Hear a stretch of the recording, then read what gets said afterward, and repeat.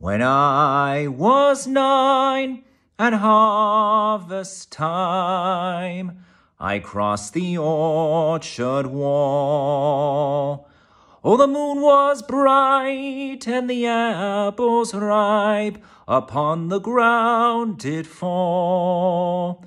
We filled our sacks and we made our way back, more adventure still to find.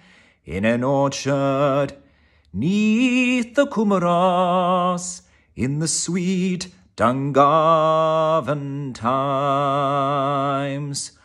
I crossed the orchard wall again when I was just thirteen. It was, I think, to be my first drink of cider and pointin'. I remember it well, it tasted like hell, and I hoped the pain would end soon in an orchard neath the Comeraghs in the sweet Dungarvan moon.